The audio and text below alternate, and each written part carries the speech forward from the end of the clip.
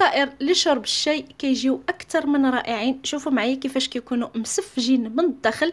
كيجيو ما بين السفنج وما بين الفطائر اولا البينيه روعة في المذاق والمكونات في المتناول. خليكم معايا باش نشوفوا المراحل والطريقة ديال تحضير هاد البينيه هذا. شوفوا معايا كيفاش كيكون خاوي من الداخل. السلام عليكم أخواتي مرحبا بكم معايا في قناة شهوات سليمة. نتمنىكم تكونوا بخير وعلى خير يا ربي. وصفتنا لهذا النهار غادي تكون فطائر لشرب الشاي. كيجيو من أروع ما يكون باليوغورت كيجيو روعة في المذاق. نبدأو على بركة الله الطريقة والمقادير في نفس الوقت. عندي هنا حبه واحدة ديال البيض هي الأولى. بسم الله. غادي نضيف ليها معلقة كبيره ديال السكر سنيدة أو سكر حبيبات.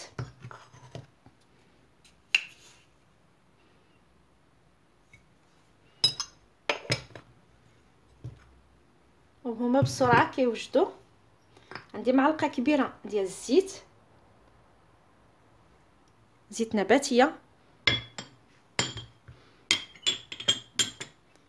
غادي نكهو هاد الفطائر بالبرتقال بسم الله.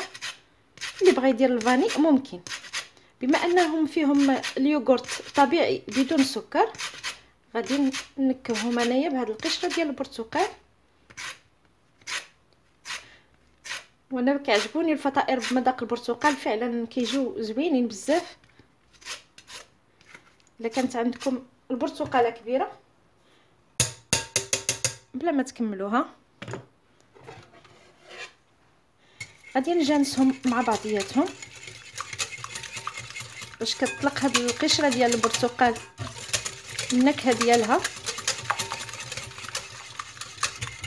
بعد ما ندمجو كنضيف قبيصه ديال الملحة باش ما ننساهاش. وعندي علبة ديال الياغورت طبيعي بدون سكر أو بدون نكهة. غادي نضيف هاد العلبة ديال اليوغورت. كاملة. ونفس العلبة غادي نعمرها بالماء. بسم الله.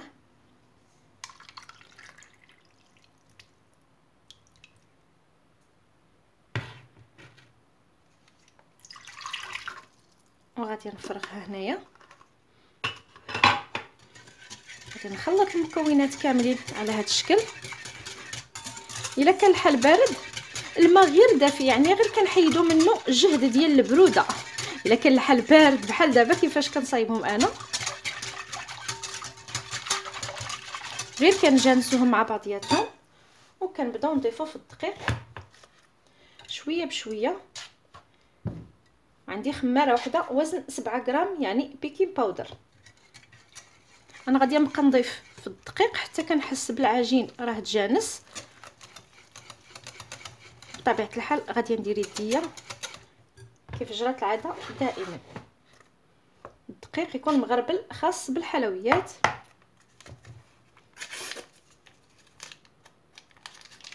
خمارة وزن سبعة غرام أو 8 غرام.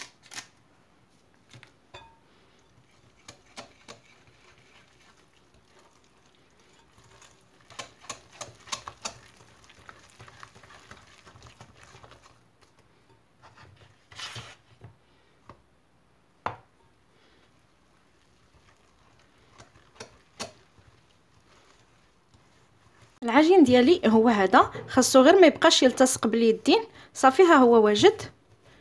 دابا غادي نحطو فوق طاولة العمل. ونرشو بالدقيق ونسرحو بالمدلك. نرشها بالدقيق وكناخذ المدلك وكنطلقها على هذا الشكل.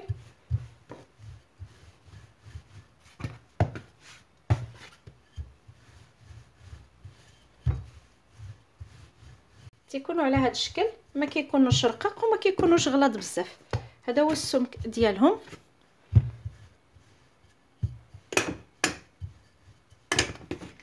كناخذ هاد القطع اولا هاد coupe pizza ممكن يكون غير السكين. كنفضل دائما ندير هذه باش ما كنضيعش منهم بزاف. أولا بالسكين يعني ما كنختارش شي طابع. كنقطع منهم أشكال. على هاد الشكل. هكا ما كنضيعوش في العجينة بزاف.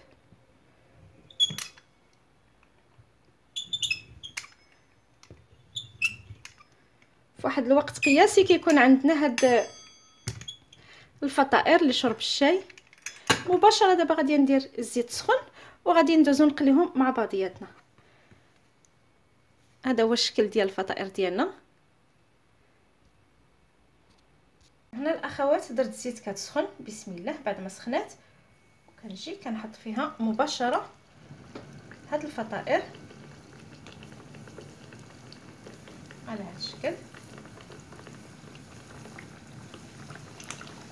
شوفوا معايا. أنا كنفرغ الزيت فوق منهم وهما كينتفخوا.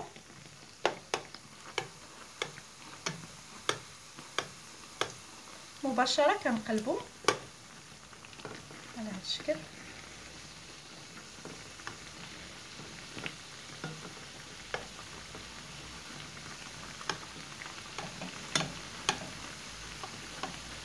ضروري الاخوات نكونوا كنرشوا الزيت وهما كيطيبوا هكا كيتحمروا مزيان من الجهتين وكيتنفخوا وهنا كناخذ شوية ديال العسل. ممكن يكون المربى. وكندهنهم بعد ما كيطيبوا أولا بعد ما كنقليوهم. كندهنهم على هذا الشكل. والتزيين كيبقى اختياري. أنا غادي نرش ليهم شوية ديال اللوز كونكاسي. ممكن يكون كاوكاو. ممكن نحتفظوا بهم غير هكاك. على هذا الشكل. نتلاقاو إن شاء الله في الشكل النهائي ديالهم. وتيكون هذا هو الشكل النهائي ديالنا ديال الفطائر. كيجيو أكثر من رائعين. يعني في وقت قصير كنحضروا فطائر لشرب الشاي اولا القهوة. نفتح لكم وحدة باش تشوفوها كيفاش كتكون من الداخل. بسم الله. شوفوا معايا كيفاش كيكونوا خاويين. هذا هو الشكل ديالهم. كيجيو ما بين السفنج وما بين ال beignet كيجيو مهويين من الداخل. فعلا كيستحقوا التجربة. كنتمنى فعلا أنكم تجربوهم وتخليو لي رأيكم في التعاليق. إلا عجبتكم الحلقة ديال هذا النهار أو الوصفة ديال هذا النهار ديال هذه الفطائر باليوغورت ما تردوش تخليو لي like للتشجيع. ولا كنتوا أول مرة تشوفوا القناة ديالي فضلا وليس امرا فعلوا الجرس باش توصلوا بجديد الوصفات ديالي. خليت لكم الراحة في أمان الله.